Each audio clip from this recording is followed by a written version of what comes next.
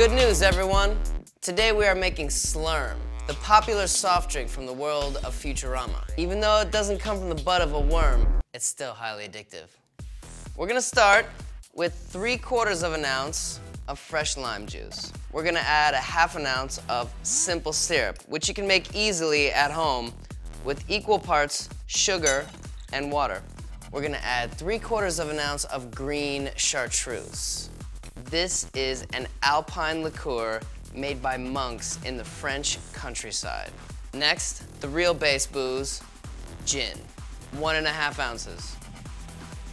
Gonna fill our shaker with ice, seal it up, and shake vigorously.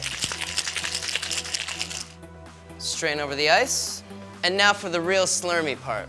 We are going to sink about an ounce of Midori melon liqueur. You're gonna put your thumb over the top and let just a little bit trickle out of a tiny opening that you make, and you wanna let it slide down the side of the glass. Nice and easy.